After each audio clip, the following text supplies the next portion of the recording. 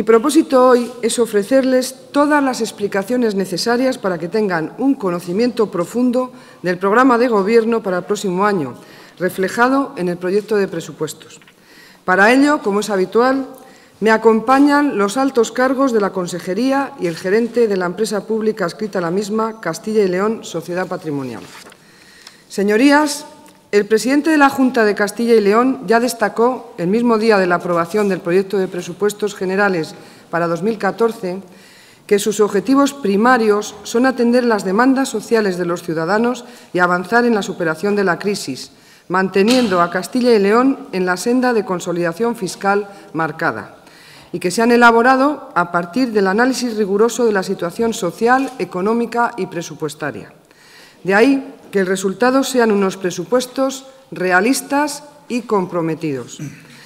Reflejan unos recursos para 2014 que continúan siendo escasos, fundamentalmente porque se produce de nuevo una pérdida de ingresos procedentes del modelo de financiación de las comunidades autónomas y de los fondos finalistas incorporan los ingresos derivados de la capacidad tributaria de la comunidad estimados de una manera prudente, una prudencia que también nos ha inclinado por mantener el marco fiscal propio, revisado en 2012 y 2013 con el propósito de ganar capacidad recaudatoria y reforzar la solidaridad. Por eso, únicamente se crean determinados beneficios fiscales que complementan las políticas de reactivación de la economía y de creación de empleo y que además unos presupuestos que agotan la capacidad de gasto que nos permite el techo de los ingresos y el objetivo de estabilidad aprobado para 2014. Todos esos recursos se van a transformar en el gasto social que demandan los ciudadanos, intensificando la atención a los más afectados por la crisis y a los más vulnerables, en gasto sanitario, gasto en educación y en servicios sociales para atender las necesidades prioritarias de la sociedad castellano y leonesa. Y también en gasto para animar la economía que genere empleo y riqueza. Señorías, en 2014 vamos a contar con unos presupuestos de 9.957.790.752 euros 476,2 millones de euros más que el presupuesto aprobado para 2013. Un dato que admite matizaciones, desde luego, y a las que me referiré más adelante, pero que no deja de ser positivo frente a lo que venía ocurriendo en los últimos cuatro presupuestos, este crece. Y es un crecimiento que nos permite un ajuste menor en el gasto realmente disponible para el conjunto de las políticas activas. Señorías, la elaboración de los presupuestos debe basarse en el análisis de las perspectivas macroeconómicas. Hace unas pocas semanas, en el debate sobre el límite de gasto no financiero para el año que viene, tuve ocasión de informarles sobre esta cuestión. Desde entonces, hemos conocido el cuadro macroeconómico que acompaña al proyecto de presupuestos generales del Estado para 2014, así como nuevos indicadores e informes de diversos analistas. Toda esa información lleva a la Junta a mantener las perspectivas macroeconómicas de las que entonces hablamos, que indican que la economía de Castilla y León mejora progresivamente, lo que llevará a un crecimiento positivo en 2014. De una evolución del PIB del menos 1,1% que se prevé a esta fecha para el conjunto de 2013, pasaremos a un PIB que crecerá el 0,7%. Un avance importante, sin duda, que apunta a la superación de la segunda recesión de esta larga crisis y, además, apunta a un cambio de tendencia en lo económico. Por otro lado, es una previsión coincidente con la del, Ejecutivo Central y en la línea de lo señalado por expertos nacionales e internacionales.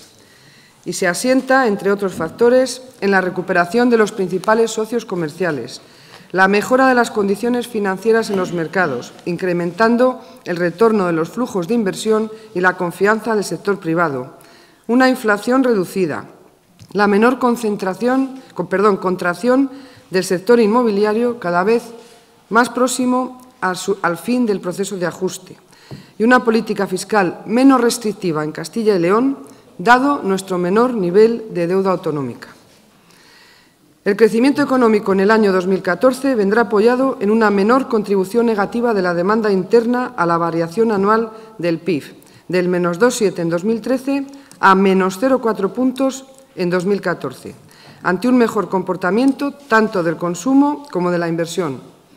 Por su parte, la demanda externa aportará 1,1 puntos a la variación anual del PIB, cinco décimas menos que en 2013, por la aceleración de las exportaciones y, en mayor medida, de las importaciones. Detallando los distintos componentes, el consumo privado registrará en 2014 un ligero crecimiento, 0,1%, frente al descenso de este año, menos 1%. Y el gasto de las administraciones públicas atenuará su ritmo contractivo, del menos 5 al menos 1,9% al suavizarse los ajustes del gasto público respecto a los realizados en años anteriores. La formación bruta de capital fijo atenuará de forma importante su conducta contractiva por el mejor comportamiento esperado de sus dos componentes. Así, la inversión en bienes de equipo aumentará un 2,5%, resultado de la mayor capacidad inversora de unas empresas con menor endeudamiento ante la previsible mejora de la confianza y el retorno de los flujos de inversión en unas condiciones financieras menos restrictivas. y la inversión en construcción registrará una tasa de variación negativa durante 2014, menos 4%, pero es inferior a la del año anterior, que era del menos 8,7%, al disminuir en menor grado la inversión pública como consecuencia de la menor reducción del gasto público, a la vez que el proceso de ajuste del sector residencial que se está aproximando a su fin. Por su parte, la demanda exterior contribuirá positivamente a la variación anual del PIB en 1,1 puntos porcentuales, observándose una aceleración de las exportaciones del 1,8% al 3,5% en 2014, apoyada en la recuperación de nuestros principales mercados de exportación, que son, en este caso, la Unión Europea y también el resto de España, y un crecimiento de las importaciones del 2,3% frente al menos 0,3 del 13, ante el inicio de la recuperación de la demanda interna.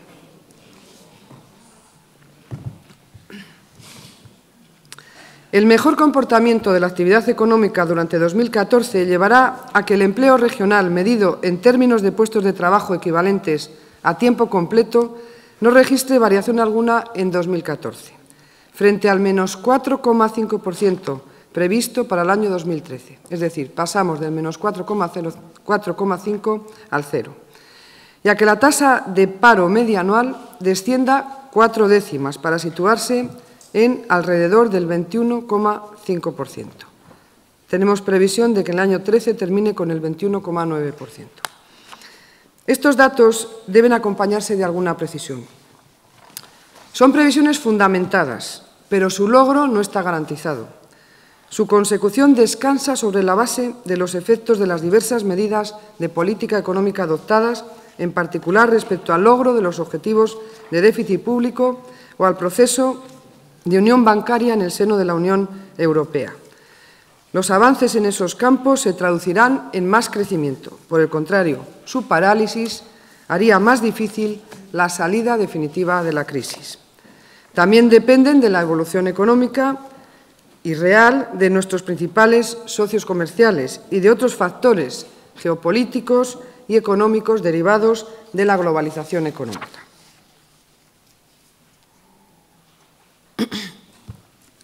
Señorías, la aprobación de estos presupuestos ha atendido también a las previsiones de la normativa en materia de estabilidad y disciplina presupuestaria.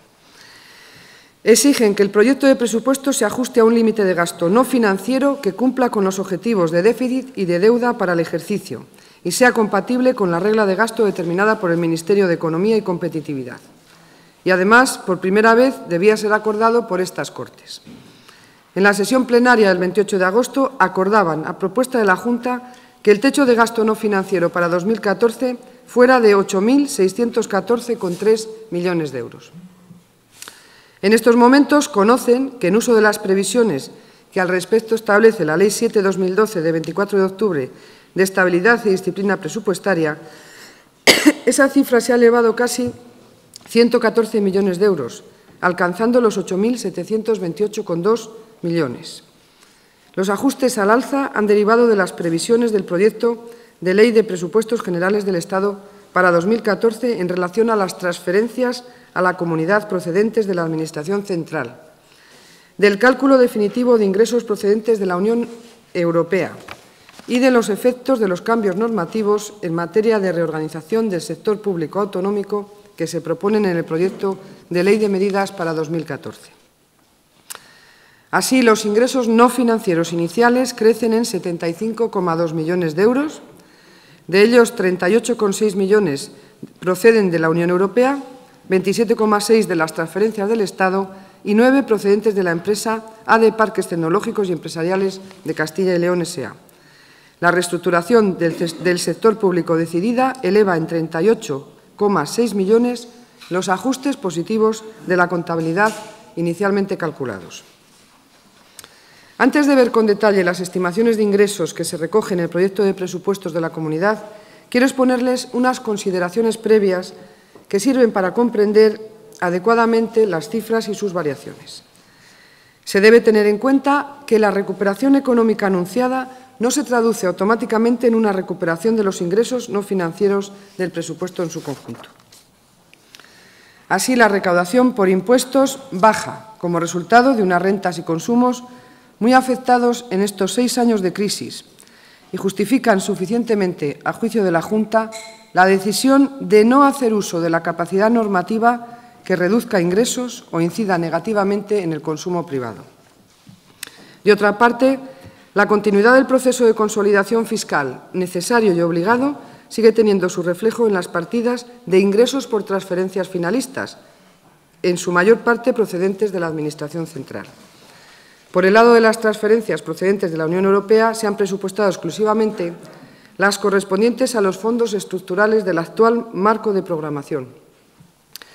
No se ha contado con los recursos que pueden llegar procedentes del nuevo periodo 2014-2020, porque aún ni siquiera se han aprobado los reglamentos ni los programas operativos que eh, tenemos que aprobar y, y también que los regulan.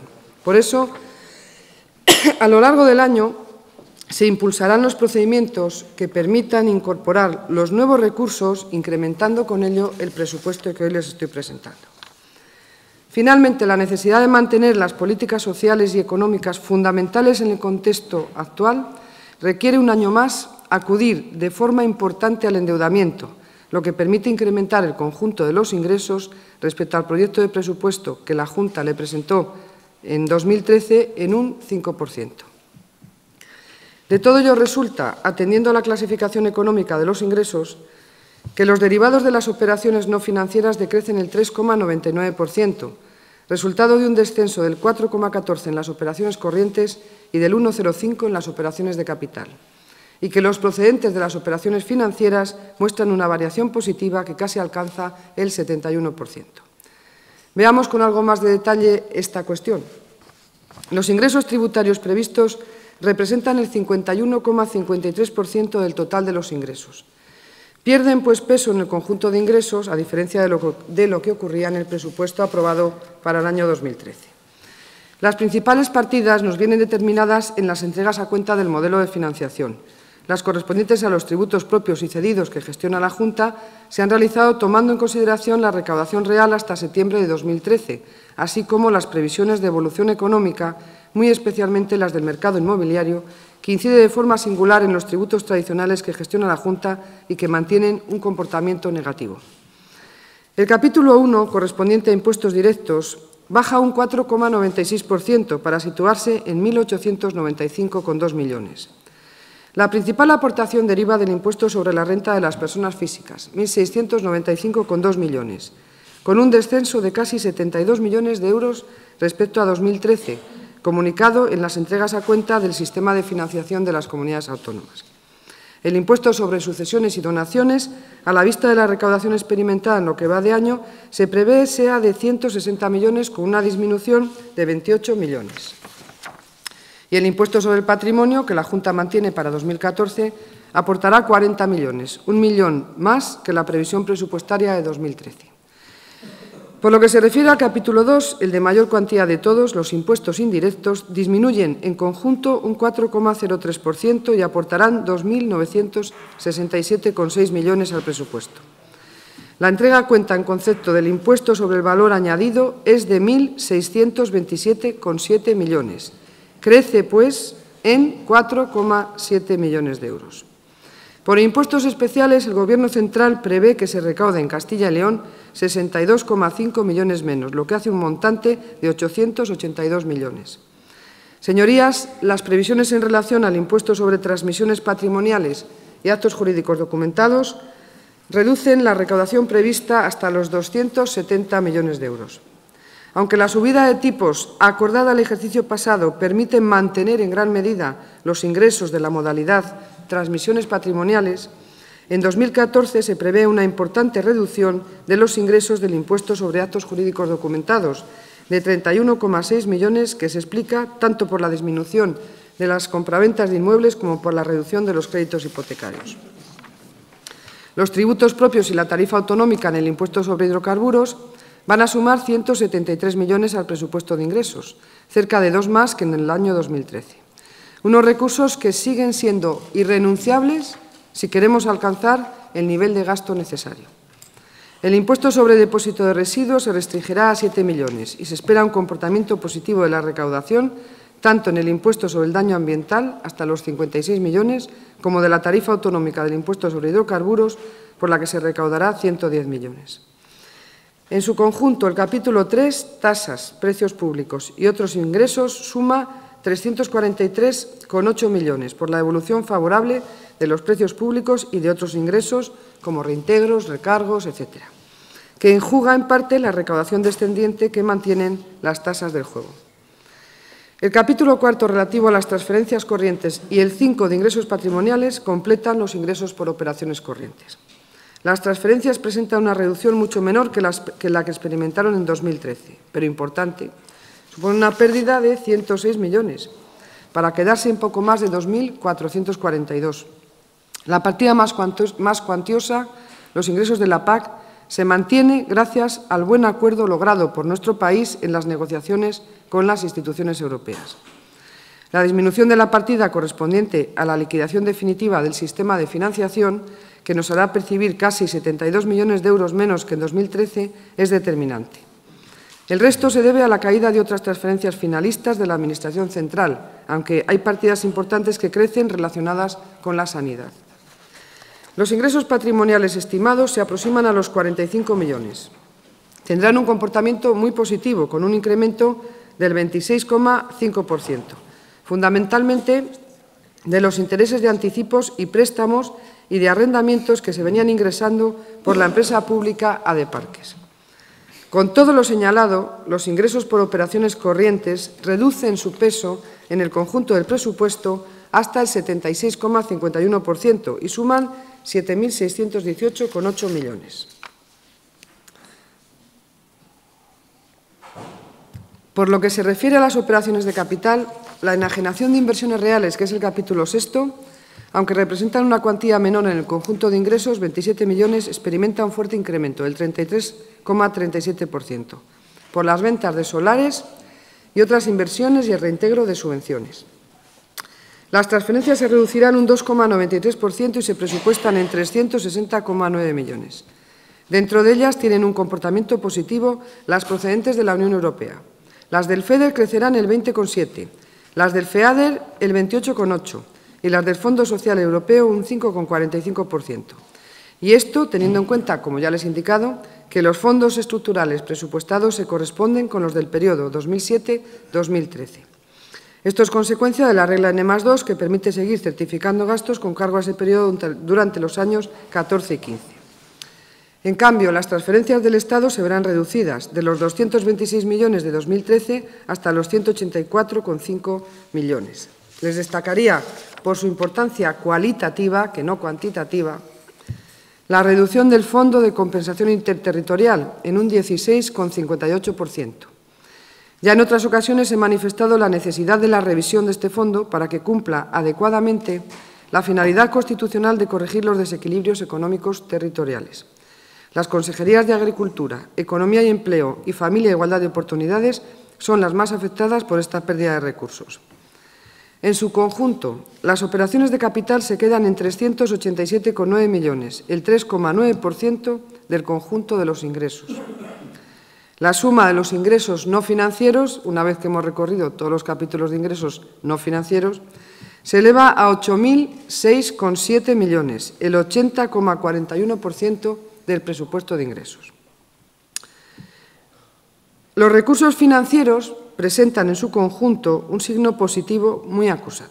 Suben el 70,83% y sus 1.951,1 millones pasan a representar casi el 20% de todos los ingresos. Los activos financieros procedentes del pago de los préstamos en años anteriores a las empresas de la comunidad bajan a 16,6 millones.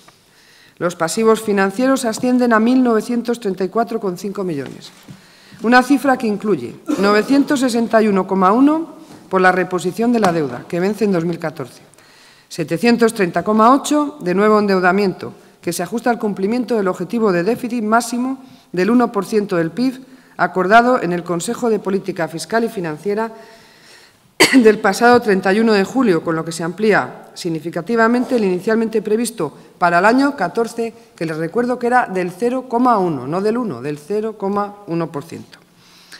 Y 242,5 millones de préstamos financieros para seguir con el apoyo al tejido empresarial de la comunidad. Señorías, a pesar de las reticencias que mantenemos sobre el incremento del endeudamiento, no podemos dejar de disponer de, los recursos que nos proporciona. Nos permiten mantener el volumen de ingresos para garantizar el funcionamiento de los grandes servicios públicos y un gasto en inversión en 2014 superior a los 1.065 millones de euros.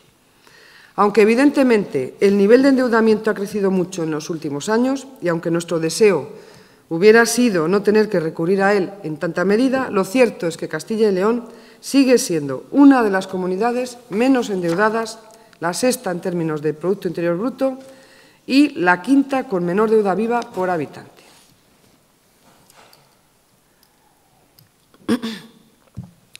Señoras y señores procuradores, a la vista de los datos expuestos, la necesidad de reformar el sistema de financiación autonómica es ya incuestionable.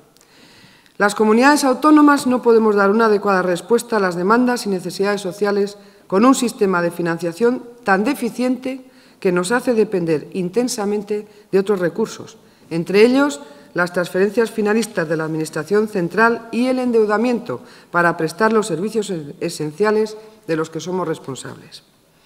Queremos contribuir a la recuperación del país conteniendo nuestro déficit y endeudamiento a los límites marcados, pero el mantenimiento del estado del bienestar exige alcanzar un nuevo sistema que garantice a las comunidades autónomas responsables de la prestación a los ciudadanos de los servicios fundamentales de sanidad, educación y servicios sociales una financiación suficiente. Señoras y señores procuradores, paso a explicar los gastos que les proponemos en el proyecto de presupuestos generales de la Comunidad para 2014. La primera apreciación, ya se la he dicho, tras cuatro años, los gastos crecerán en 2014, un 5% respecto a 2013, 476,2 millones de euros. Es verdad que el crecimiento se concentra en el gasto financiero, que alcanzará los 1.229,5 millones.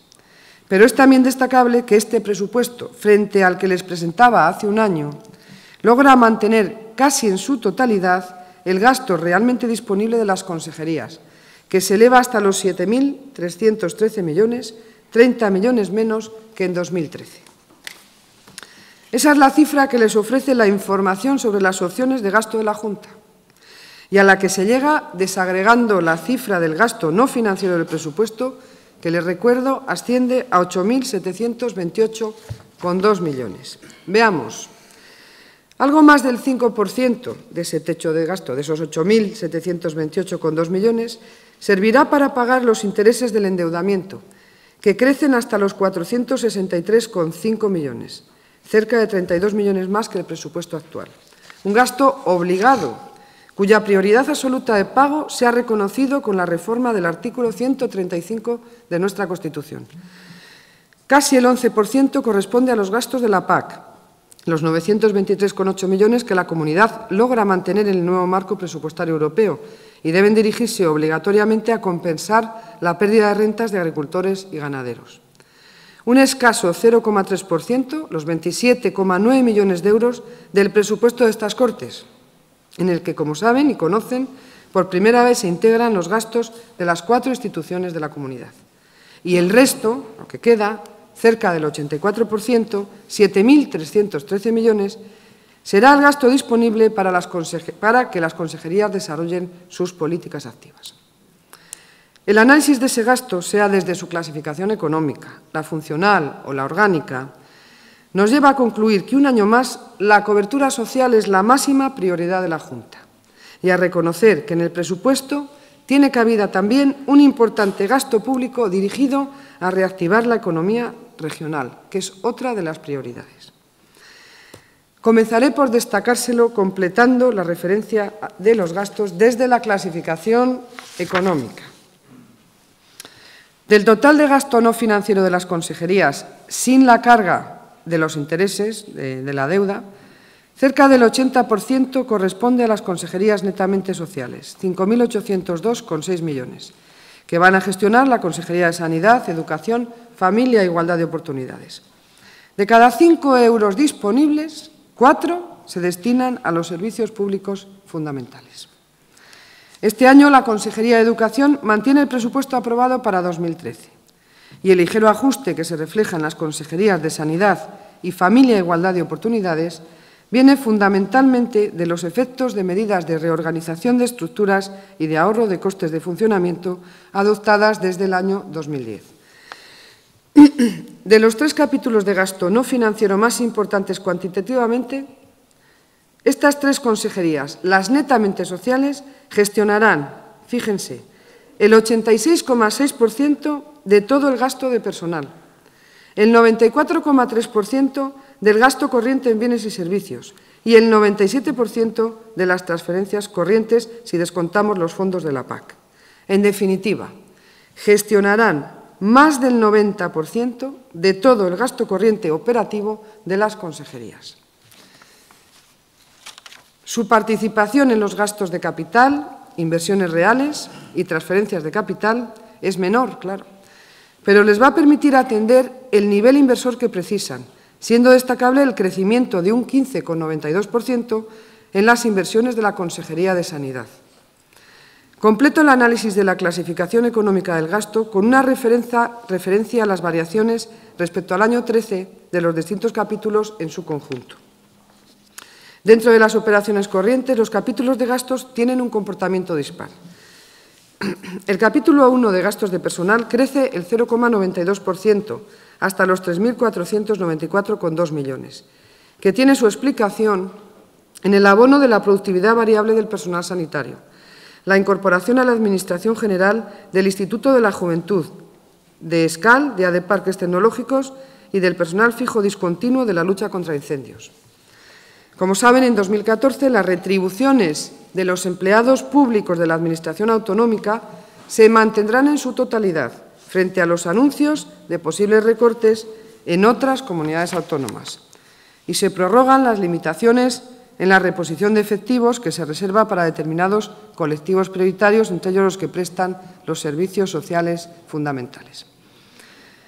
1.270,4 millones consumirán los gastos corrientes en bienes y servicios, que se reducen cerca de un 1%. Bajan en todas las consejerías, a excepción de la de Economía y Empleo, que dispondrá de 15 millones en total. De esos 1.270,4 millones, 1.192, que es un gran porcentaje, como les he dicho, se dirigirán a garantizar el funcionamiento de la red de centros sanitarios, educativos y prestadores de servicios sociales, y unos escasos 72 millones para el funcionamiento del resto, consejerías y la institución de las Cortes. El crecimiento porcentual más elevado se observa en el capítulo 3, los gastos financieros, que experimentarán en 2014 un incremento del 7,47% hasta los 463,5 millones por el efecto del endeudamiento de estos años de crisis. Es importante señalar, no obstante, que es un incremento moderado, gracias a la reducción en el coste de financiación de la deuda por la bajada de la prima de riesgo, un efecto positivo y claro de los esfuerzos en la consolidación de las cuentas públicas. Es que ahora, frente a lo que ocurría hace un año, es más fácil y más barato lograr la financiación que necesitamos y que se traduce en un ahorro de al menos 17 millones en la partida destinada a pagar intereses si lo comparamos con lo que hubiera ocurrido en el año 2013. 2.434,8 millones se presupuestan para las transferencias corrientes, que muestran una reducción del 2,27%.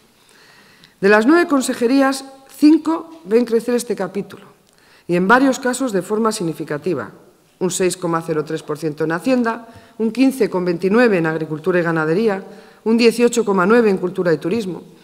Y las consejerías netamente sociales gestionarán 1.460 millones de los 1.511 disponibles si exceptuamos los procedentes de la PAC. De este modo, la cifra para 2014 de todas las operaciones corrientes se modifica mínimamente con respecto a la de 2013, un 0,07% negativo, aproximadamente 5 millones menos. Tampoco las operaciones de capital en su conjunto van a variar de forma significativa, aunque en este caso es al alza, un 0,63% más, frente a lo que ha venido ocurriendo en los cuatro presupuestos anteriores. Las inversiones directas se acercan a los 444 millones, crecerán un 7,29%, un buen dato para la economía regional. Esta cifra viene determinada muy especialmente por el crecimiento ya señalado de un 15,92% de las inversiones de la Consejería de Sanidad y por el aumento de las inversiones de la Consejería de Economía y Empleo en 30 millones de euros, debido a la integración de la empresa pública de Parques en los presupuestos. Fomento, una consejería que es tradicionalmente inversora, mantiene sus niveles de inversión e incluso los incrementa algo, un 0,43%.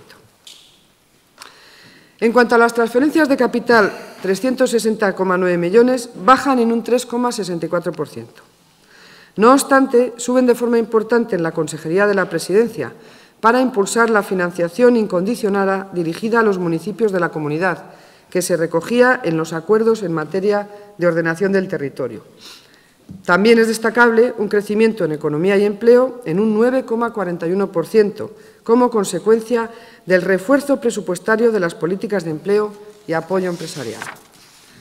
Como sus señorías saben, la suma de las operaciones corrientes y las operaciones de capital da como resultado el importe de las operaciones no financieras.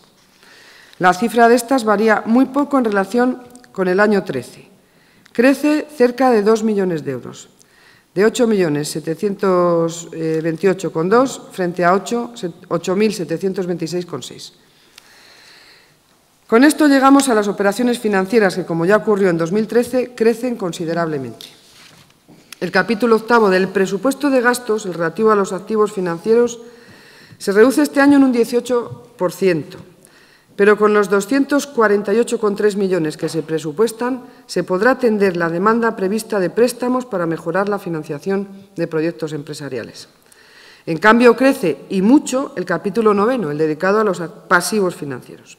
Pasa de los 451,8 millones de euros de 2013 a los 981,2 millones de euros de 2014 lo que representa un incremento nada menos que del 117,16% para atender a la devolución del capital prestado, fundamentalmente de deuda que se repone.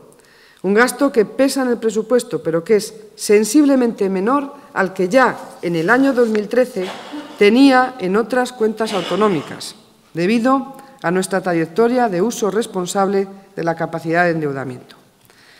La suma de los dos capítulos relativos a los gastos financieros asciende, por tanto, a 1.229,5 millones y representan el 12,35% del presupuesto de gastos. Señorías,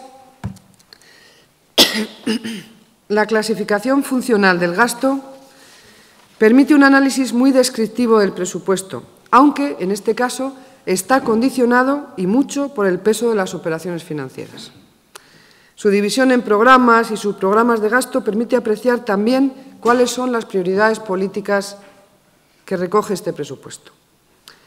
La atención a las necesidades sociales de la comunidad, en especial a las personas más vulnerables, el fomento del empleo, y la recuperación económica ambicionada a la que apuntan las estimaciones que se manejan en estos momentos. Conforme a esta clasificación, el conjunto del gasto social representa el 61,57% de todos los recursos, más de 6.131,3 millones de euros, con una reducción del 0,69% respecto a 2013. Supone, pues, un gasto diario de 16,1 8 millones de euros. Recuerden otras cifras y porcentajes en este momento. Supone el 80% del gasto sobre el que realmente puede decidir la Junta y a él se dirigen el 94% de los recursos autónomos no financieros. Las actuaciones de carácter económico representan el 22,53% del total de los gastos, 2.243,9 millones. Su variación es positiva respecto al presupuesto aprobado para este año en un 0,59%. Si se excluyen los fondos de la PAC, la variación que experimentan es del 1%. Los gastos que denominamos servicios de carácter general no alcanzan los 223 millones, el 2,23% del presupuesto de la comunidad. Muestran una nueva reducción este año de un 0,23% a costa de constreñir una vez más los gastos en alta dirección, en la Administración General y en la Administración Tributaria y Financiera. El Servicio de la Deuda completa la clasificación funcional del gasto. Precisará de 1.360,1 millones, lo que supone un incremento del 59,2% respecto a 2014. Su peso en el conjunto de gasto será del 13,66%. Unas cifras cuyo análisis nos indica que la sanidad, como viene siendo habitual, es el gasto que más recursos consume, 3.177,9 millones según esta clasificación. Esto representa prácticamente el 52% de todo el gasto social y el 31, casi el 32% de todo el presupuesto. La atención especializada recibe 1.918,5 millones, con un incremento de 9,9 millones. Un gasto de 5,3 millones al día para el funcionamiento de hospitales y centros de salud. A la atención primaria se destinarán 1.031,5 millones, 2,8 millones de euros diarios, que se reduce por el control del gasto farmacéutico. 38,6 millones se dedicarán a las emergencias sanitarias, que suben un 2,12% respecto a 2013. En esta política de gasto, el control del gasto corriente de funcionamiento de los centros sanitarios y la racionalización en el uso de medicamentos explica el ligero ajuste que muestran. Con ello, se van a mantener los niveles de calidad reconocida a nuestra sanidad pública que además dispondrá de un mayor presupuesto para inversiones en la red hospitalaria. La educación es la segunda de las funciones que contará con mayor gasto, 1.771,4 millones, un 0,31% más que en 2013. Esto representa el 29% prácticamente del gasto social y el 17,8% del total del presupuesto. Y es una cuantía que, al igual que lo señalado para la sanidad, será adecuada para mantener la contrastada calidad de este servicio público. Destacar que la educación infantil y primaria se dota con 562,9 millones, 3,8 más que en 2013, que la educación secundaria obligatoria, la formación profesional y las enseñanzas de régimen especial recibirán 709,5 millones, con un incremento de 8,2 millones, el 1,17%. Las enseñanzas universitarias, de acuerdo con los contratos, programas vigentes, suponen 324,7 millones, con una bajada de 1,7 millones. En cuanto a los servicios sociales prestados fundamentalmente por la Consejería de Familia e Igualdad de Oportunidades, reciben el 13,2% del gasto en políticas sociales, 812 millones, que en el conjunto del presupuesto pesan el 8,2%. La atención a las personas más vulnerables a través de pensiones y otras prestaciones económicas subirá hasta los 175,2 millones, lo que representa un incremento cercano al 7%. Incluye la renta garantizada de ciudadanía, con 11 millones más respecto a 2013, eh, en porcentaje un 34% más. Para la atención a la discapacidad, mayores y drogodependencia se presupuestan 315 millones de euros. Es un gasto que garantiza la colaboración con instituciones y entidades locales de la comunidad para que los servicios sociales de Castilla y León continúen siendo una referencia en el conjunto de España.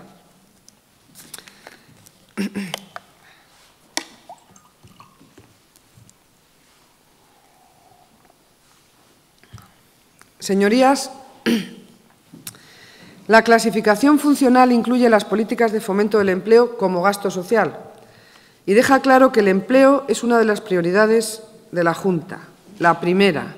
Siempre lo ha sido, pero ahora es más importante que nunca, cuando el número de parados ha alcanzado cotas que no conocíamos en Castilla y León hasta antes de empezar la crisis. A través del Grupo Funcional 24, el empleo tiene asignados 220,3 millones, con un crecimiento del 8,45% respecto a 2014. Tengan en consideración que de estos fondos, 90 millones proceden de recursos autónomos. Con los fondos previstos en actuaciones económicas, los recursos disponibles para el fomento del empleo se elevan a más de 230. Señorías, debo destacar que tanto en materia de servicios sociales como de empleo, los acuerdos con los agentes sociales han sido relevantes. Hemos pactado incrementar las transferencias a las personas y familias, pero también una acción coordinada en estos ámbitos que permita eludir la exclusión social de las personas que se están viendo más afectadas por la crisis. Dentro de las actuaciones de carácter económico destacan este año las medidas de apoyo al tejido empresarial. Voy a darles algunas cifras de estas actuaciones, excluida la PAC por el destino finalista que tienen estos fondos. Así se puede ver que la agricultura, la ganadería y la pesca tendrán a su disposición 462,6 millones de euros, lo que representa más de un tercio de todos los recursos disponibles para las actuaciones de carácter económico, el 35%. Aunque ligeramente crecen casi el 1% respecto a 2013, lo que en la coyuntura presupuestaria actual es un crecimiento nada desdeñable, desde luego. Con la PAC, su peso en el presupuesto se eleva hasta el 14%. Del resto destacaría todo el paquete de programas destinados a incentivar la economía. Los que más incrementan son los dirigidos a la creación de empresas, que elevan sus recursos un 153,2%, pasan de 6,8 millones hasta los 17,3. También el de competitividad, que muestra un incremento del 56,4%, con lo que supera los 222 millones. El de aprovechamiento de recursos mineros, que mejora su dotación, en este caso en un 30,7%. Y la ordenación y promoción comercial, que crece casi un 14%. Las inversiones en carreteras muestran un añadido cercano al 14%, 17,8 millones más. Y otra puntualización relativa a la investigación, desarrollo e innovación, que sufren inicialmente una reducción importante en el presupuesto. Señorías, la intención de la Junta es poder incrementar esta dotación sensiblemente a lo largo del año a través de los recursos de fondos europeos que se aprueban para el marco 2014-2020 y fundamentalmente de los recursos FEDER en los que aproximadamente el 75% se van a destinar a la I de Masi. Además, como ya he destacado, la Junta mantiene para 2014 una importante política de avales a las empresas de la comunidad. Paso a hacerles una breve referencia a las políticas de gasto incluidas en los denominados servicios de carácter general necesarios para llevar a cabo el resto de las actuaciones. Los gastos de Administración General, de alta dirección de la comunidad y de Administración financiera y tributaria se reducen una vez más. En conjunto, un 3% para quedarse en 145,9 millones. En cambio, las transferencias a las corporaciones locales con 76,5 millones, crecen el 6,14% sobre la cifra del año 13. La comunidad hace un nuevo esfuerzo para reducir sus propios gastos y de este modo puede ofrecer más a las corporaciones locales. Un incremento en la cooperación económica con las corporaciones locales que refuerza el carácter municipalista de los presupuestos para 2014.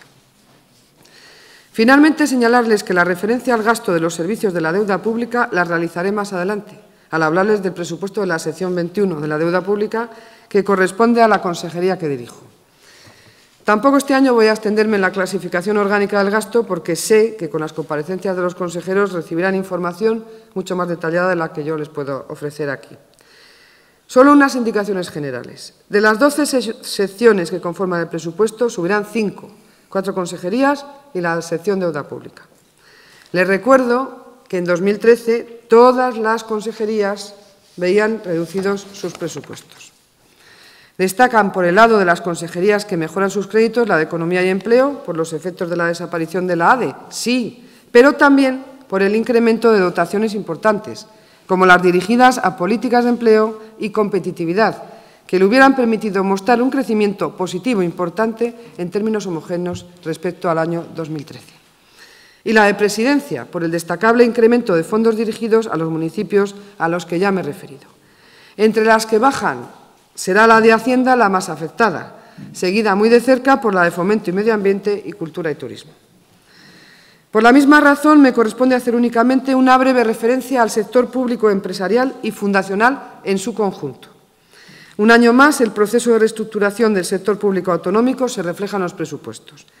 En 2014, ese proceso de ajuste del tamaño del sector público se deja sentir en las empresas públicas, que se reducen a dos en estos presupuestos, de las que, eh, cuando les recuerdo que solo en el año 12, seis se incorporaban a, estos, a unos presupuestos similares. Cilsopa, eh, Sociedad Anónima Unipersonal, y Somacil, Sociedad Anónima, gestionarán 62,8 millones de euros, cerca de un 16% menos que en 2013. En cuanto al subsector fundacional, se encuentra integrado por nueve entidades. En su conjunto, sus actuaciones se elevarán a 70 millones de euros prácticamente, una disminución del 1,89%. Destacarles también que en 2014 el proceso de reordenación llevado a cabo va a suponer que las aportaciones de la Junta, tanto a las empresas como a las fundaciones, se reduzca en 47,2 millones de euros respecto a 2013. El 97,28% menos a las empresas públicas y casi el 10% menos a las fundaciones. En 2014 seguirán sin precisar de aportación alguna del presupuesto de la Junta para su funcionamiento la empresa Castilla y León Sociedad Patrimonial y la Fundación de Hemoterapia y Hemodonación.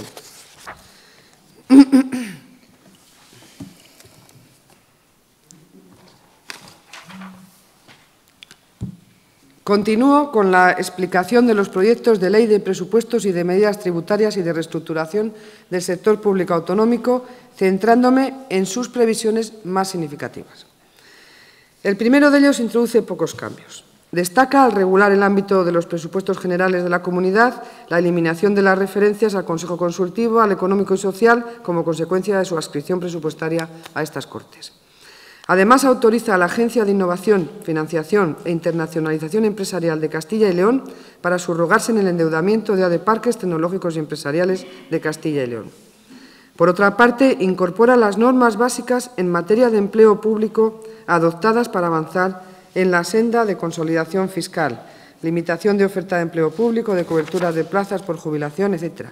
Pero también recoge el mantenimiento de las retribuciones de los empleados públicos con derecho a las dos pagas eh, extraordinarias completas.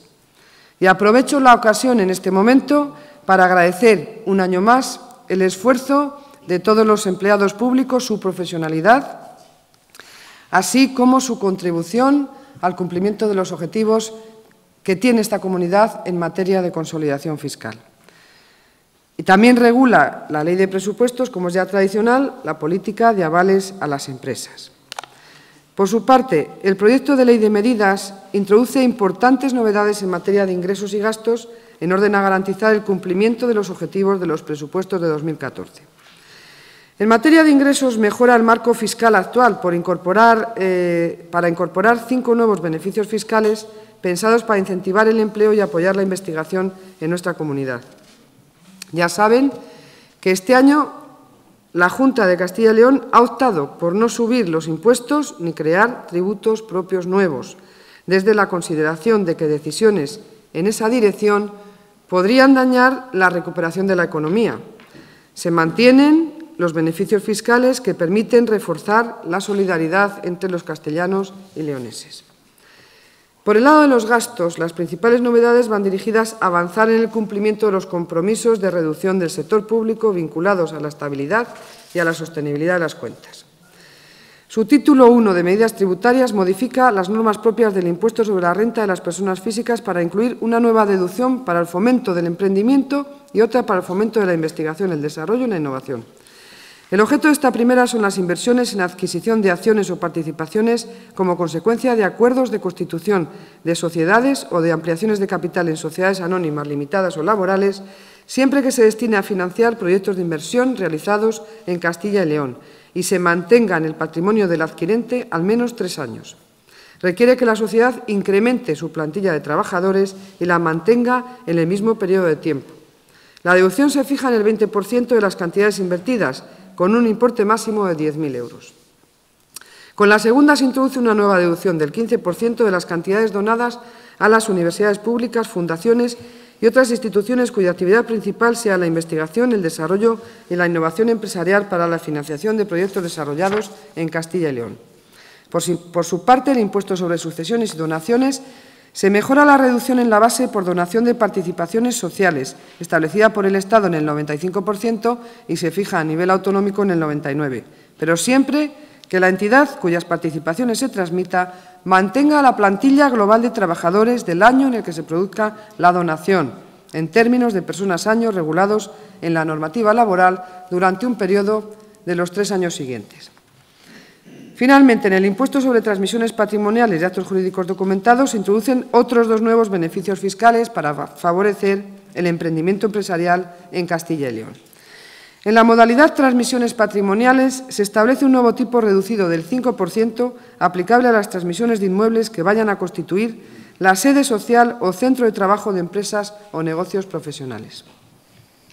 En actos jurídicos documentados se implanta un tipo reducido del 0,5% aplicable a las primeras copias de escrituras y actas notariales que documenten la adquisición de inmuebles que vayan a constituir la sede social o centro de trabajo de empresas o negocios profesionales así como la constitución de préstamos y créditos hipotecarios para su adquisición.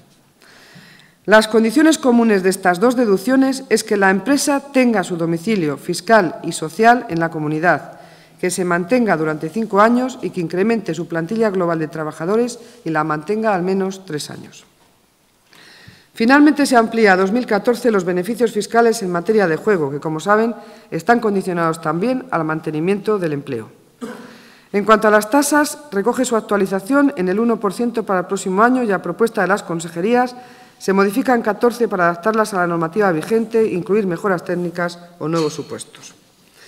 Las medidas de reestructuración del sector público autonómico se recogen en el título 2, entre ellas alguna de carácter general, como el nuevo régimen de extinción de las entidades de la Administración institucional y de las empresas públicas. Entre las medidas específicas de reordenación de entidades integrantes del sector público autonómico, destaca la relativa a la extinción del organismo autónomo Instituto de la Juventud de Castilla y León y la extinción de la empresa pública ADE Parques Tecnológicos y Empresariales de Castilla y León, por cesión global de activos y pasivos al ente público de derecho privado, Agencia de Innovación, Financiación e Internacionalización Empresarial de Castilla y León. En consecuencia, resulta precisa la modificación de la ley de creación de la agencia a través de esta ley de, medidas. Con ello vamos dando cumplimiento a los compromisos asumidos al respecto en orden a la reducción progresiva del sector público autonómico. Se incluye la modificación del objeto social de la empresa pública Castilla y León Sociedad Patrimonial eh, para amparar actuaciones relativas a los bienes muebles y a los elementos accesorios de los bienes muebles e inmuebles y hacer posible que esta sociedad participe en actuaciones en materia de eficiencia energética que está previsto realizar en el futuro próximo u otras cuyo elemento esencial sea la compra y explotación de bienes muebles para su sustitución por otros de mayor eficiencia. Además, se contempla la existencia de un servicio jurídico único para los organismos autónomos, Gerencia Regional de Salud y Gerencia de Servicios Sociales de Castilla y León. Otras disposiciones del proyecto son las medidas tendentes a favorecer los aprovechamientos forestales de las que seguro les informará más detalladamente mi consejero, uy, mi compañero de gobierno, el consejero de Fomento y Medio Ambiente. Iba a decir mi consejero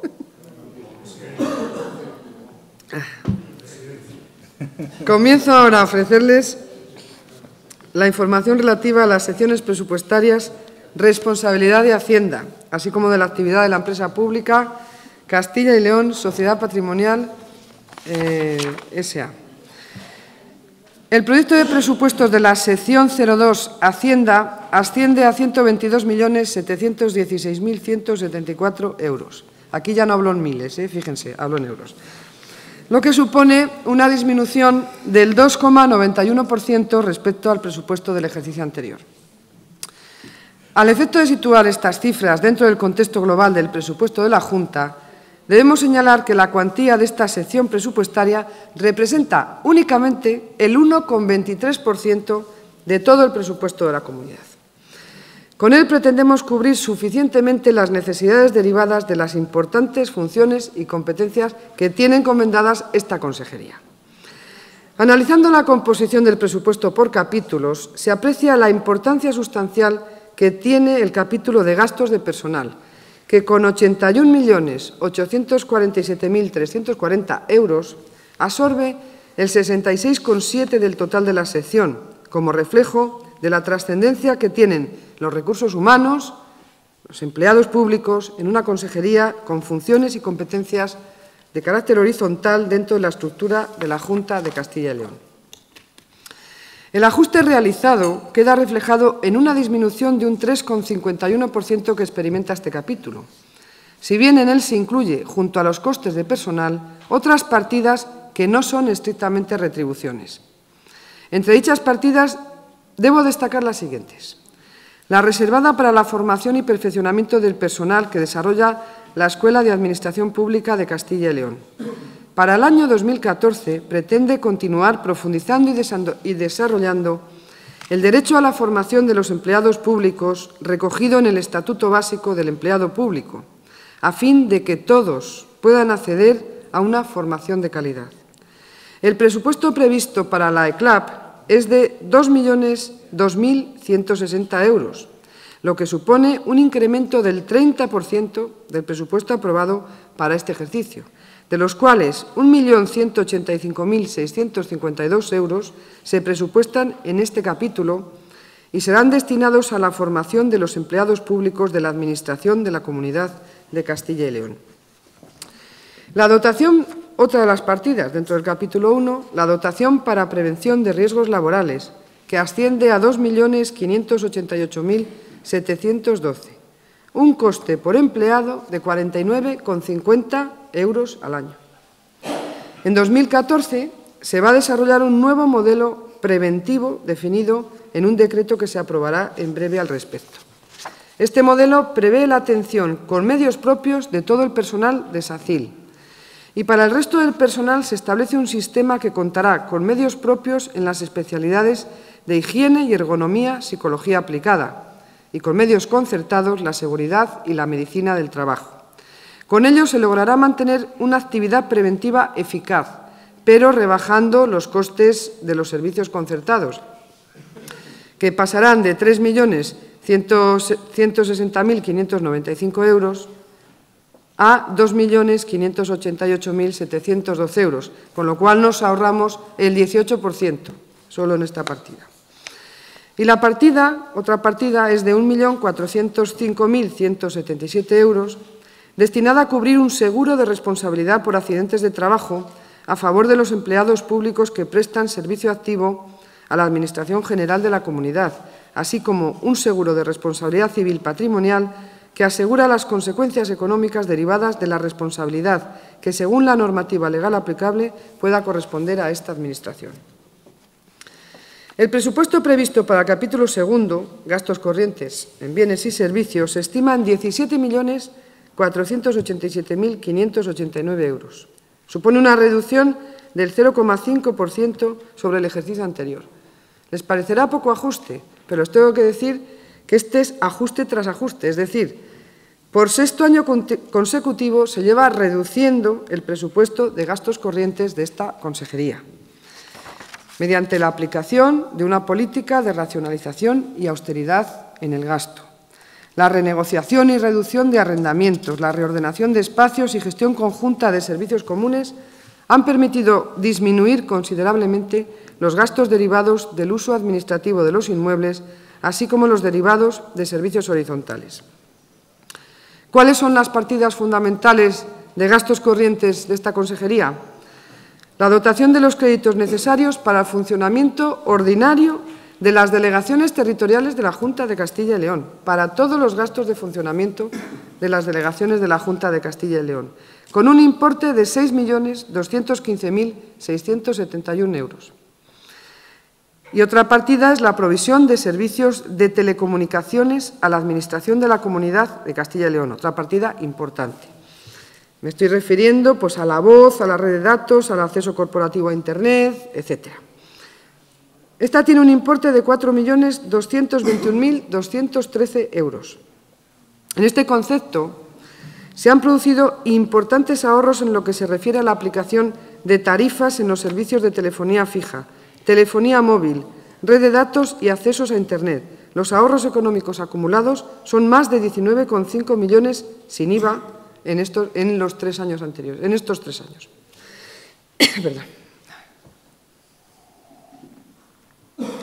El capítulo 3 de gastos financieros cuenta con una dotación de crédito ampliable de 70.000 euros, idéntica a la del año anterior, destinada al pago de los gastos financieros por descuento de certificaciones de obra, descuento de subvenciones y contratos de factoring, en virtud de los convenios con entidades financieras dirigidos a mejorar la liquidez de la economía regional. El capítulo cuarto de transferencias corrientes tiene un presupuesto de 8.341.143 euros experimentando un crecimiento del 6,03% sobre el ejercicio anterior. Y esto es debido fundamentalmente a una nueva partida de 476.090 euros fijada en el acuerdo para la gestión de fondos de formación en 2014, que se nutre de fondos del INAP y que serán destinados exclusivamente a financiar los planes de formación presentados por las entidades locales en el ámbito territorial de nuestra comunidad autónoma. La importancia de este capítulo eh, en el presupuesto proviene del programa de transferencias a corporaciones locales, que mantiene el mismo importe que el ejercicio anterior, 6.768.375 euros destinados a financiar las transferencias de competencias a diputaciones y ayuntamientos en materia de deporte escolar, instalaciones deportivas, bibliotecas, guarderías y medio natural, contempladas en los correspondientes decretos de transferencia. El capítulo sexto cifra las inversiones reales en 14.159.836 euros, experimentando una disminución del 7,11% sobre el presupuesto anterior como resultado de la coyuntura presupuestaria en una consejería con competencias no fundamentalmente inversoras. Pese a esta obligada limitación, se ha realizado un esfuerzo en la selección de lo que son inversiones prioritarias, que por su carácter transversal dan soporte al funcionamiento del resto de las consejerías, especialmente en el ámbito de las tecnologías de la información. Señorías, bajo los principios de eficacia y eficiencia, la Junta ha venido apostando por una Administración autonómica, fácil, ágil, cercana, segura y proactiva, orientada a las necesidades de los ciudadanos, disponible por múltiples canales y sin restricción horaria. Esto es especialmente relevante aquí, en nuestra comunidad autónoma, que es una comunidad extensa y caracterizada por, dispersión la por la dispersión de la población, por el elevado número de municipios, por municipios de reducido tamaño, y eso nos, nos obliga y nos exige adaptarnos y, sobre todo, a potenciar los servicios electrónicos. En esta dirección, entre nuestros objetivos para 2014 destacan incrementar el número de procedimientos que se tramitan completamente de forma electrónica, a la vez que vamos simplificando estos procedimientos. Generalizar la utilización de notificaciones electrónicas en los procedimientos administrativos. La incorporación de servicios, de nuevos servicios, ya existen algunos, de respuesta inmediata. E implantar el tablón de anuncios electrónico, comenzando con los procedimientos que afectan a la Ley 5-2013 de estímulo a la creación de empresas. Todo esto se traducirá, además, en importantes ahorros para los ciudadanos y las empresas, estimados en al menos 73,5 millones de euros anuales, esto según el modelo coste estándar que está admitido en la Unión Europea. Asimismo, supondrá una disminución de gasto corriente para la Administración por valor de 5 millones de euros anuales. Para ello, se necesita invertir, invertir en tecnologías de la información y la comunicación. Así, para la plataforma de administración electrónica y para desarrollo y mantenimiento de las aplicaciones informáticas corporativas, como son el Pérsigo, el SICAL, el Guía, se dedicarán 3.052.339 euros. Y 2.297.407 euros para las licencias que precisan estas aplicaciones y otras aplicaciones que son de uso de todo el conjunto de la Administración autonómica. Señorías, todas estas aplicaciones informáticas y demás herramientas de software han de estar instaladas en infraestructuras TIC, a cuyo mantenimiento se van a destinar 408.476 euros. Debo destacarles que para conseguir unas infraestructuras TIC optimizadas y eficientes, la Consejería ha puesto en marcha el proyecto de construcción de un único centro de proceso de datos. Un proyecto de centralización de las infraestructuras que reporta una larga serie de beneficios directos para la propia Administración y, por supuesto, para los ciudadanos. Son reducción de gastos de mantenimiento, reducción de licencias y de gastos energéticos, un aumento de la disponibilidad 24 por 7, simplicidad en la gestión, mejora en la monitorización de incidentes, reducción de espacios físicos, mayor seguridad y una mejora en la productividad y rendimiento que permiten el aumento de la capacidad de teletramitación de todos los procedimientos administrativos. Los gastos destinados a las infraestructuras TIC con esta actuación se reducirán en una primera estimación, hablo de los gastos que vamos a reducir la Administración autonómica, en 2 millones 448.000 euros al año una vez que esté operativo este centro de proceso de datos único. En esta línea de eficiencia, la Administración de la Comunidad de Castilla y León se apoya en el Centro de Operación de Redes y Servicios, que en abreviatura se conoce como CORS, para gestionar de manera integral los servicios de comunicaciones que están implantados en su red corporativa, que conecta a más de 30.000 usuarios en más de 1.300 centros con un número total de 27.000 activos, que son los equipos, las líneas de comunicaciones, los servicios, etc.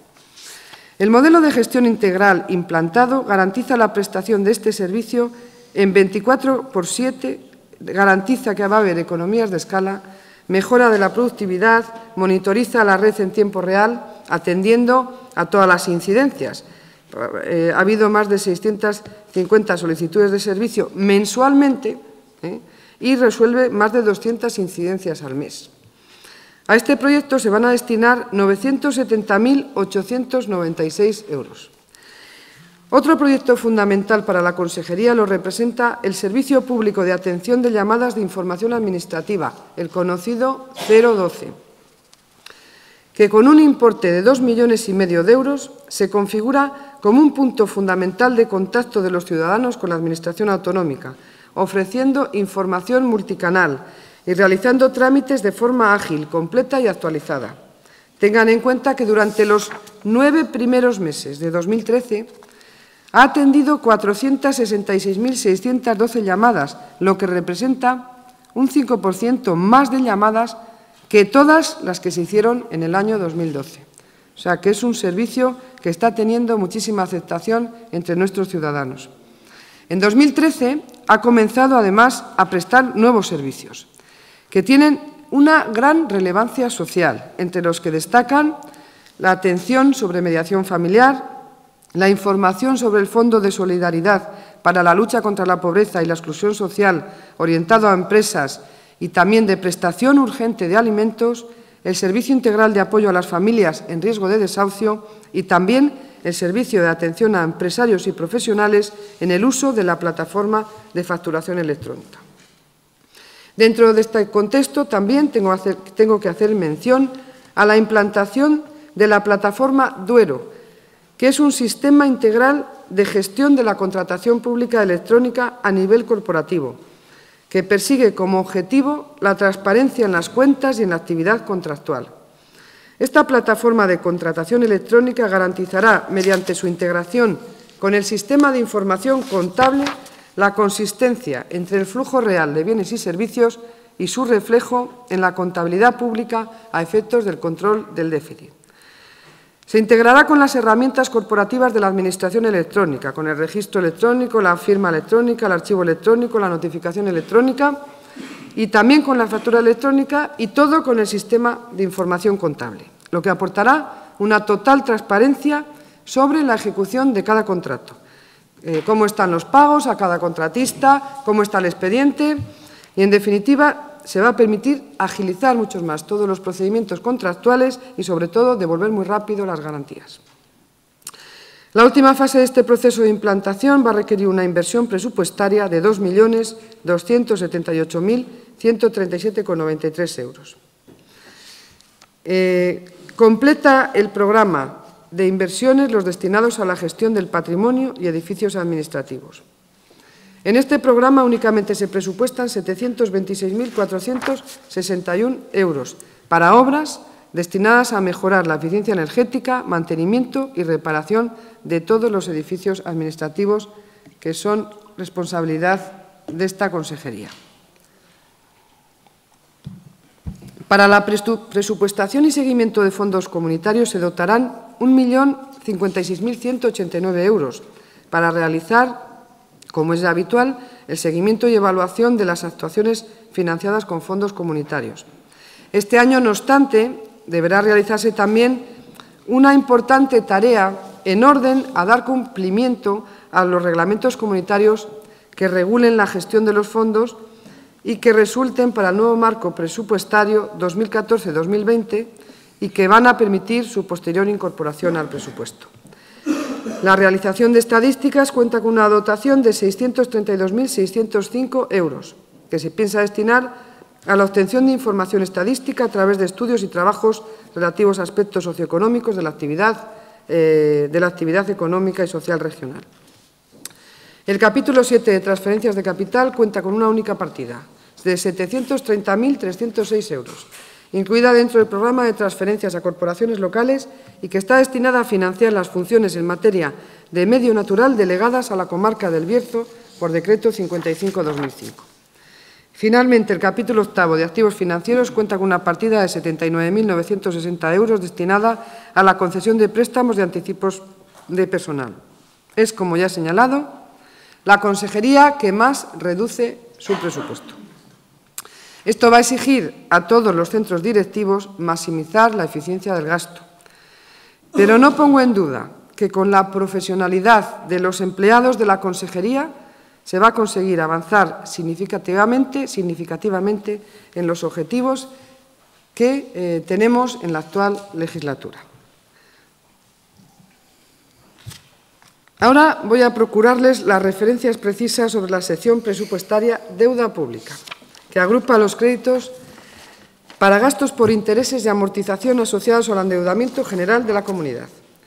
Como ya he destacado a lo largo de esta comparecencia, la necesidad de recurrir de forma reiterada al endeudamiento para completar la cobertura del coste de los servicios públicos ante la insuficiencia de las vías ordinarias de financiación autonómica, provoca que este programa presupuestario vaya adquiriendo en estos años una mayor importancia relativa. Y todo ello sin olvidar que el uso responsable de la capacidad de endeudamiento ha permitido que nuestra comunidad se mantenga entre las regiones más saneadas, a pesar de haber tenido que aumentar su nivel de deuda en los últimos años como consecuencia de la crisis de recursos ordinarios. En este sentido, permítame recordarles que, de acuerdo con los últimos datos referidos al cierre del primer semestre de este año, la ratio deuda-PIB de Castilla y León era cuatro puntos porcentuales inferior a la media del conjunto de regiones españolas, un 14,7% frente al 18,9%, lo que la situaba como la sexta comunidad autónoma menos endeudada. De acuerdo con los datos del proyecto de presupuestos de gastos para 2014 presentado a esta Cámara, esta sección ocupa el tercer lugar en volumen de créditos, con una dotación de 1.360,16 millones de euros, de los cuales se ha previsto destinar 444 millones al pago de intereses y 916 millones de euros para amortizaciones. La finalidad de estos créditos es sufragar el coste del servicio de la deuda, por lo que su dotación está condicionada por la estimación de la evolución de los tipos de interés y también por las amortizaciones de la deuda que se produzcan en cada ejercicio. En concreto, el significativo incremento interanual del 59,2% que experimenta el presupuesto de la sección deuda pública es debido principalmente al aumento de los créditos destinados a satisfacer las amortizaciones de deuda que se producirán en este ejercicio y que se eleva a algo más de 916 millones, con una variación respecto a 2013 de 110,5%. Es decir, durante el ejercicio 14, la Administración de la Comunidad habrá de atender vencimientos de deuda por un importe que supera en más del doble lo que amortizamos en el ejercicio 2013. Para explicar esta concentración de amortizaciones hay que tener en cuenta que desde el inicio de la crisis se produjo una fuerte reducción en los plazos de reembolso de las operaciones de endeudamiento que se formalizaban como consecuencia de las incertidumbres de los mercados, de la aversión al riesgo que generaban inversores y entidades prestamistas. El hecho de que en los últimos años no se han podido formalizar operaciones con vencimientos más allá de cinco años ha provocado un incremento de los vencimientos a plazos medios, de los cuales da buena muestra el elevado volumen que se producirá en 2014. En este sentido, considero oportuno indicarles que del importe de, del importe de 758 millones que corresponde amortizar a la comunidad por emisiones de deuda, la mayor parte ha sido formalizada en los últimos cuatro años y por lo que respecta a los vencimientos de préstamos, que ascienden a 158 millones, la mayoría se refieren a reembolsos eh, parciales de créditos concertados en 2012. Por lo que respecta a las partidas destinadas al abono de intereses, tanto de créditos a largo como corto, por importe de 444 millones, su incremento anual es del 5,9%.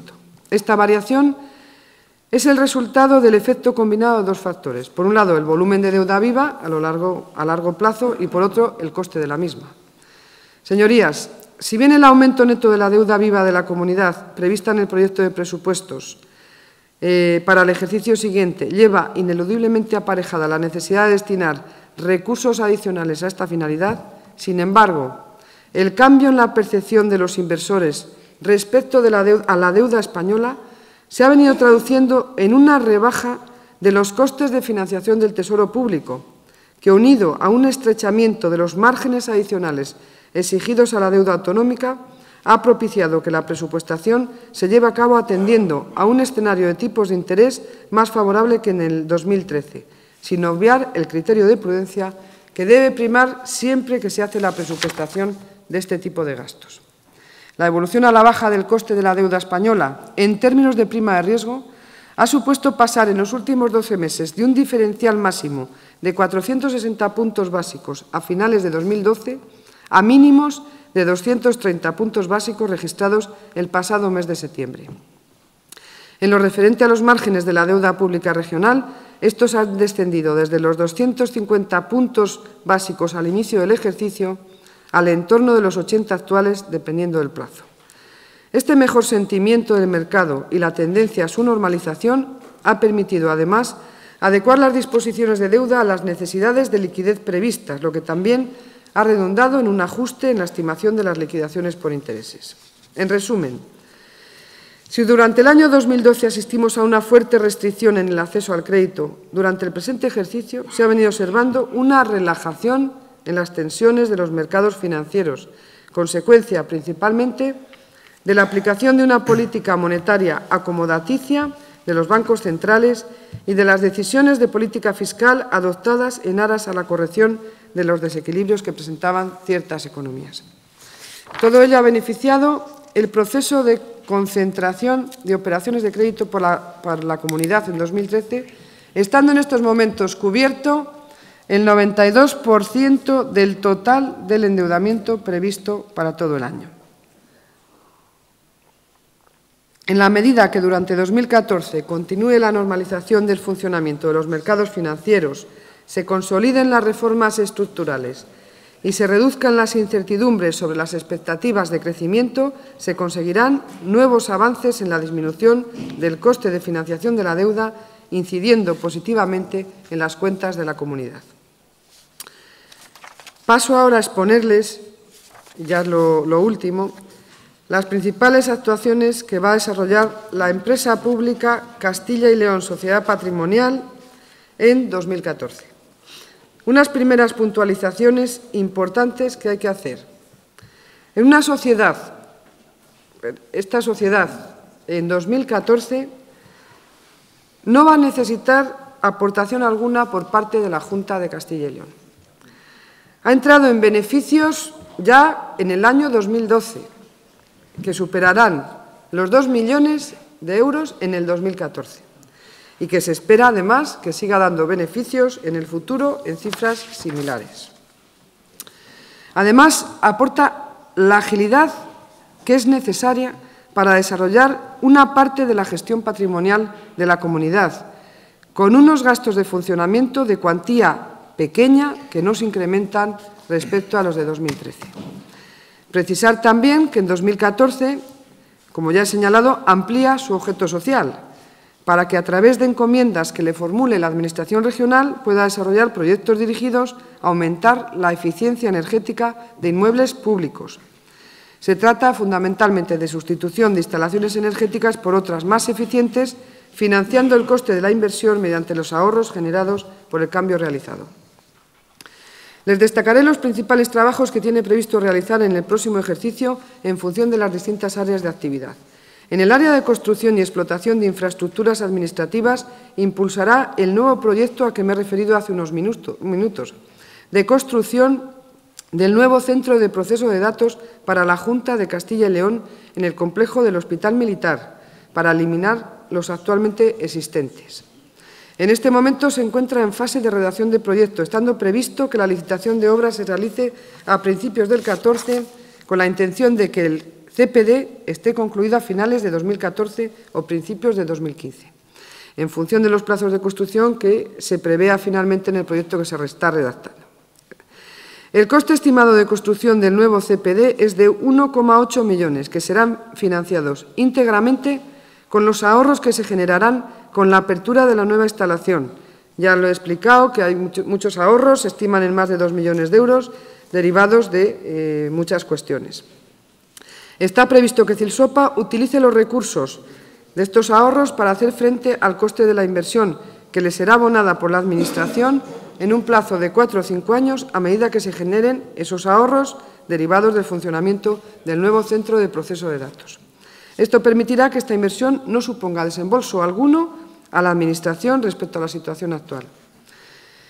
Tiene previsto también que la nave para archivos en Laguna de Duero, actualmente en construcción, termine a finales de este año 2013, que permitirá eliminar contratos de arrendamiento de espacio para archivos existentes en algunas consejerías o servicios territoriales, además de mejorar las condiciones de custodia de esa documentación, dado que la nave cuenta con todos los sistemas necesarios para ello. Con ello se pondrán en uso cinco módulos que se equipararán con archivos de alta capacidad. Por otra parte, continuará con la gestión del edificio de usos múltiples de Salamanca, cuya puesta en funcionamiento en las fechas previstas ha permitido cancelar los arrendamientos administrativos con particulares que la Junta tenía en esa ciudad, con un ahorro anual aproximado de 1.002.000 euros masiva. Los beneficios también se pueden medir en términos de mejora de la organización de la Administración autonómica en la ciudad de Salamanca, que pasará de estar ubicada en 20 espacios a estar únicamente en cuatro y además todos ellos de propiedad de la Junta de Castilla y León o cedidos por la Tesorería General de la Seguridad Social. En el área de explotación de bienes del patrimonio de la comunidad, en colaboración con la Consejería, continuará con el control y seguimiento de la ejecución del contrato concesional para la rehabilitación como hotel balneario de la antigua Universidad Santa Catalina, situada en el Burgo de Osma, y de la explotación como establecimiento hotelero del centro de alojamiento turístico del que la Junta es titular en Saldaña. Como ya les informé hace un año, la actividad de esta sociedad se ha reorientado hacia actuaciones que tienen por objeto generar recursos económicos para el sector público, ya sea mediante la explotación rentable de las inversiones previamente desarrolladas por la empresa o poniendo en valor recursos de la empresa o de la Administración autonómica. En este sentido, seguirá trabajando en el desarrollo urbanístico de suelos titularidad de la comunidad autónoma para su transformación en solares susceptibles de enajenación, para la construcción de viviendas sujetas a algún régimen de protección pública. En 2012 comenzó el desarrollo del sector de actuación El Silo, situado en Burgos. A esta fecha se han presentado los documentos iniciales al Ayuntamiento y se espera tener la aprobación inicial a finales de este año y la definitiva durante el año 2014. Y mediante encomienda formulada por la Consejería de Hacienda sustituirá el sistema de iluminación actualmente existente por otro con mayor eficiencia, de modo que los ahorros generados con el nuevo sistema permitan financiar la inversión en un plazo aproximado de tres, cuatro años. Para ello, en el próximo mes se encargará una auditoría de la iluminación del ESAUN 1 que analice todos los costes existentes derivados del sistema de iluminación actual y proponga uno o varios sistemas alternativos con costes de funcionamiento menores que serán utilizados por Cilsopa en la licitación que realice en 2014. De todo lo expuesto, creo que coincidirán conmigo en la necesidad de mantener en funcionamiento esta empresa pública. Señor presidente, Señoras y señores procuradores, voy terminando. El Ejecutivo Autonómico les ha presentado un buen proyecto de presupuestos generales de la Comunidad para 2014. Un instrumento útil para el cumplimiento de todos los compromisos asumidos por el Ejecutivo Autonómico. Primero, con nuestros ciudadanos, que demandan un gasto público necesario, el social, y también respuestas al grave problema de la falta de empleo en nuestra comunidad. Unos presupuestos comprometidos, comprometidos con la solidaridad entre todos los castellanos y leoneses, a los que además no se les pide un nuevo esfuerzo en forma de ingresos o impuestos, que permiten seguir participando en el proceso de consolidación fiscal, que es necesario y conjunto, además, pactado con España y las instituciones europeas internacionales, una condición ineludible para la superación de la crisis y la vuelta a un crecimiento económico sostenible, para reforzar la propia autonomía y nuestra vocación de comunidad sólida y fiable, que sirven, en fin, para que Castilla y León continúe siendo una comunidad ejemplar en la prestación de los servicios públicos y que impulsan el cambio de tendencia de la economía que ya destacan muchos datos e informes económicos. Señorías, soy consciente de que los acuerdos que mejoren el proyecto de presupuestos que les acabo de presentar pueden resultar difíciles, muy difíciles. Pero no desisto en pedirles que al menos lo intentemos y pongamos nuestro empeño en esta tarea, no pensando en nosotros, por supuesto, pensando en los ciudadanos de nuestra comunidad.